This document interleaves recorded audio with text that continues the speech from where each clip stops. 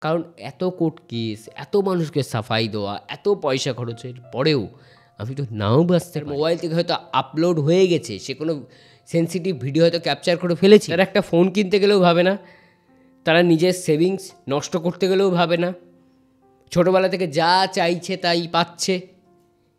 এইসব মানুষরা সুইসাইড করতে যায় এইসব মানুষরা ড্র্যাগ অ্যাডিক্ট হয়ে পড়ে। বাঁচানোর মতো বা তার ভিতর পজিটিভ থট দেওয়ার মতো কোনো মানুষ নেই। এটা পাচ্ছে না সেটা পাওয়ার জন্য সুইসাইড করতে চাইছি শটে বললে তাহলে যারা পেয়ে গেছে সেই সমস্ত কিছু তারপরও কেন তারা সুইসাইড পার্টিকুলারলি কোনো একটা বিষয় চেয়েছিলাম সোসাইটি থেকে বা আমাদের নিজেদের এবিলিটি থেকে যে জিনিসটা আমরা অ্যাচিভ করতে পারিনি এবং আমাদের মুখের দিকে তাকিয়ে আমাদের সোসাইটি বসে আছে আমাদের ফ্যামিলি বসে আছে। নমস্কার। প্রতিদিনের মতো আমি সোমনাথ আছি তোমাদের সঙ্গে। আজকের থামনেল দেখে তোমরা বুঝতেই পেরেছ যে আজকের ভিডিওর বিষয়বস্তু কি হতে চলেছে।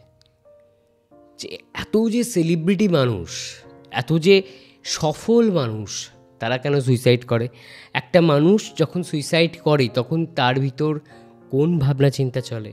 কারণ প্রতিটা মানুষই বাঁচতে চায়, কেউ তো শখ করে মরতে চায় না। মরণ যন্ত্রণাটা কেউ তো ফিল করতে চায় না।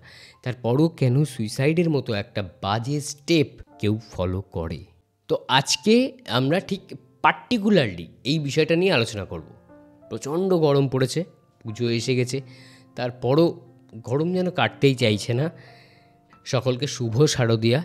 আবারও একবার শুভ শারদিয়ার শুভেচ্ছা জানাই। আমরা চাই তিলোত্তমা বিচার পাক। তো সেই বিচারের আশা নিয়ে, শুভ শারদিয়ার শুভেচ্ছা নিয়ে আজকে আমরা এই ভিডিও শুরু করছি। সুইসাইড অর্থাৎ অনার কিলিং নয়। কেউ মেরে দিচ্ছে না, কোনো স্বার্থে মেরে দিচ্ছে না, বা এটা মার্ডার নয় সেলফ মার্ডার কেউ মেরে দিচ্ছে না, নিজেকেই আমরা নিজেরা মারছি। কিছু মানুষকে আমরা রাস্তাঘাটে দেখে ভাবি, এই মানুষটা বোধহয় পাগল। এই মানুষটার কোনো সেন্স নেই। কি বলছে, কি করছে, কি খাচ্ছে, কার সাথে কথা বলছে, কোনো সেন্স নেই। কিছু মানুষ পাগলকে দেখবে তুমি রাস্তার ধারে কুকুরের সঙ্গে বসে একসঙ্গে হয়তো খাচ্ছে, একসঙ্গে তার গায়ে হাত বুলিয়ে দিচ্ছে, তার প্রতি ভালোবাসা দেখাচ্ছে। কেন? কারণ পাগল অবস্থা মানুষের এমন একটা অবস্থা যখন সে একদম কোর থাকে, তার বিচার বিবেচনা করার ক্ষমতা থাকে না। এটা কি একটা সুইসাইড নয়? সে কেন পাগল হয়ে গেল আজকে? তুমি, আমি তো বেশ বিন্দাস আছি, ভাবনা চিন্তা করতে পারছি, তাকে পাগল বলে আইডেন্টিফাই করতে পারছি। তাহলে? সুইসাইড আমরা কেন করি? কারণ আমরা পার্টিকুলারলি কোনো একটা বিষয় চেয়েছিলাম সোসাইটি থেকে বা আমাদের নিজেদের এবিলিটি থেকে যে জিনিসটা আমরা অ্যাচিভ করতে পারিনি এবং আমাদের মুখের দিকে তাকিয়ে আমাদের সোসাইটি বসে আছে, আমাদের ফ্যামিলি বসে আছে এবং বুঝতে পারছি বা আন্দাজ করতে পারছি বা নিজেরা ধারণা করতে পারছি যে আর কখনো এই বিষয়টা অ্যাচিভ করতে পারব না। তো এদেরকে আমি কী জবাব দেবো? যে আমি তো পারছি না।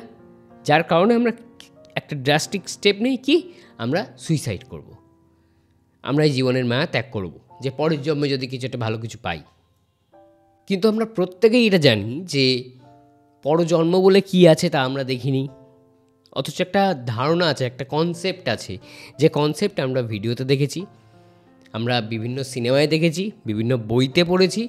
পরজন্ম বলে একটা ব্যাপার হয়, এই জন্মের পর তারপর এক জন্ম তারপরে তারপর এক জন্ম। তো এই জন্মে জন্মে জন্মে জন্মে একটা বেটার কিছু চাইছি। যার কারণে তো সুইসাইড করতে চাইছি। তাহলে যেটা পাচ্ছি না, সেটা পাওয়ার জন্য সুইসাইড করতে চাইছি শর্টে বললে, তাহলে যারা পেয়ে গেছে সেই সমস্ত কিছু তারপরও কেন তারা সুইসাইড করছে? প্রচুর সেলিব্রিটিকে দেখবে যারা সুইসাইড করছে। প্রচুর প্রতিষ্ঠিত মানুষ, সে ভালো চাকরি করে, তার ভালো সেটেলড ফ্যামিলি তার সমস্ত কিছুই সেটেলড তার অভাব নেই। তারপরও কোনো বিষয়ের প্রতি তার চাহিদার আর খামতি নেই। তারপরও কেন সুইসাইড করছে? এর পার্টিকুলারলি দুটো থেকে তিনটে কারণ নিয়ে আজকে আলোচনা করব। তো প্রথম কারণ হলো শেয়ার না করতে পারা। একটা সেলিব্রিটি যখন সুইসাইড করে, অর্থাৎ তার মনের সেই দুঃখ, তার মনের কষ্ট বা তার সেই অ্যাচিভমেন্টের আনন্দ, সেটা কারোর সঙ্গে শেয়ার করতে পারছে না। সেটা তার ফ্যামিলি হয়তো দূরে আছে। হয়তো তার বন্ধুদের থেকে সে অনেক দূরে দূরে থাকছে। তার এই সেলিব্রিটির ফ্রেমের জন্য তাকে থাকতে হচ্ছে, নিজেকে আপগ্রেড করতে হচ্ছে প্রতি মুহূর্তে। যার কারণে একা থাকতে হচ্ছে, সেই কারণে সে হয়তো তাদের সঙ্গে মন খুলে কথা বলতে পারছে না। যার কারণে তার ভিতরের নেগেটিভ থটসগুলো সে কোথাও ট্রান্সফার করতে পারছে না বলে নেগেটিভ থটসে সে এতই চাপা পড়ে যাচ্ছে যে সে একটা চিন্তা নিয়ে নিয়েছে যে আমি সুইসাইড করব। কিন্তু সেই জায়গা থেকে তাকে বাঁচানোর মতো বা তার ভিতর পজিটিভ থট দেওয়ার মতো কোনো মানুষ নেই, যার কারণে তার আজ পরিণতি সুইসাইড আর কি কারণ হতে পারে? সুইসাইডের দ্বিতীয় কারণ হলো যে আমরা যেটা ভাবি, ছোটোবেলা থেকে কিছু কিছু মানুষ আছে, ঠিক সেটাই করে। আগে পিছে কিছু ভাবে না যে আমি সুইসাইড করতে গিয়ে নাও মরতে পারি। তখন ফ্যামিলির একটা ফিনান্সিয়াল একটা সোশ্যাল স্ট্রেস এসে পড়বেই। একটা ফ্যামিলির কোনো মানুষ সুইসাইড করতে গিয়ে বেঁচে গেল। মরে গেল তারপরে তো অসম্মান আছেই। কিন্তু যদি বেঁচে যায়, অসম্মানও হবে। জলের মতো টাকা, পয়সা সেভিংস যা আছে সব বেরিয়ে যাবে। তো এগুলো না ভেবে যারা একটা ড্রাস্টিক স্টেপ নেয়, কি করছি, কেন করছি, আমার ওপর কোন কোন বার্ডেনগুলো রয়েছে, কে কে আমার মুখের দিকে তাকিয়ে রয়েছে, এসব কিছু ভাবে না। তারা একটা ফোন কিনতে গেলেও ভাবে না, তারা নিজের সেভিংস নষ্ট করতে গেলেও ভাবে না, ছোটোবেলা থেকে যা চাইছে তাই পাচ্ছে।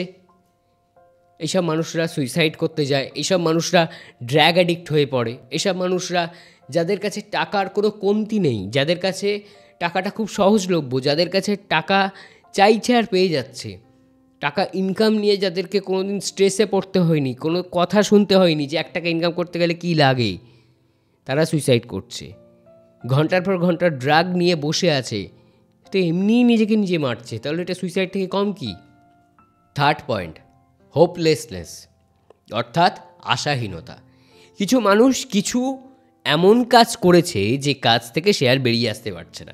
হয়তো তার একটা বিবাহ আছে, সে সত্ত্বেও সে গোপনে আর একটা বিবাহ করেছে এবং তার ভিতর ভয় আছে বা কোনো একটা কারণে সে ভয় পাচ্ছে যে তার এই কর্মকাণ্ড ফাঁস হয়ে যেতে পারে।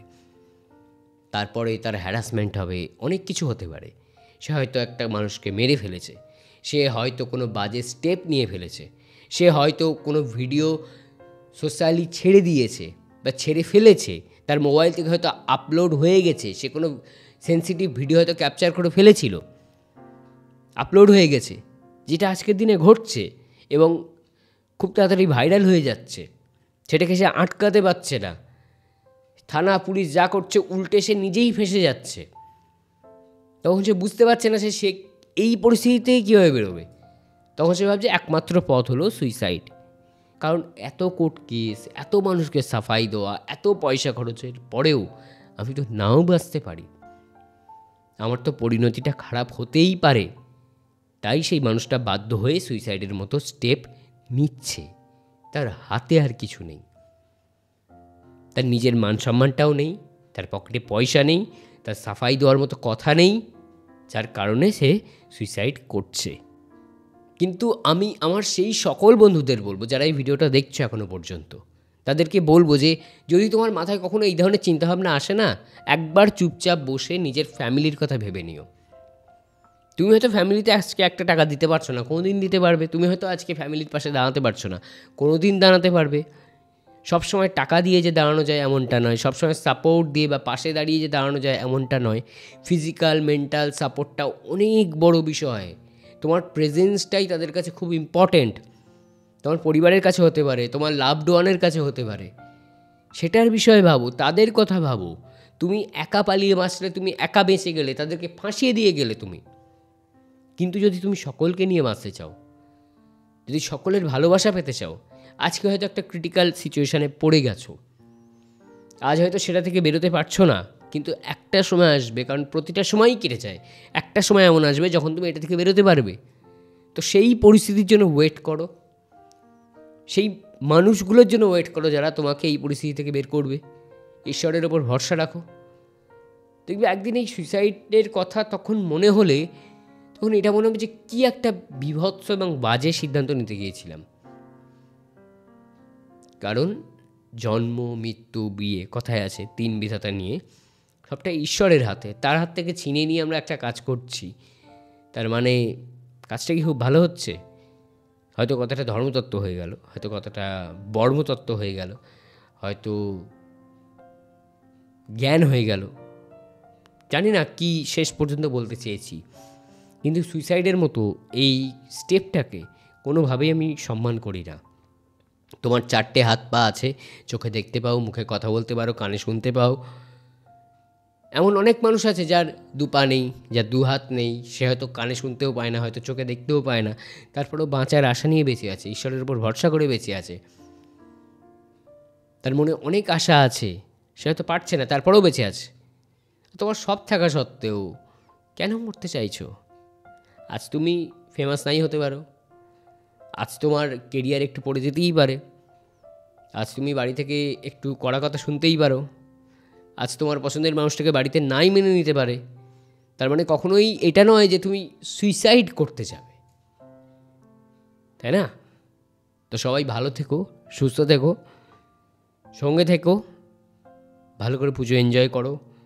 চাই না ভিডিওটা পুজোর আগে আসবে না পরে আসবে, যখনই আসুক। মাথায় রেখো। কারণ তোমরা ভালো থাকলে আমি ভালো থাকব।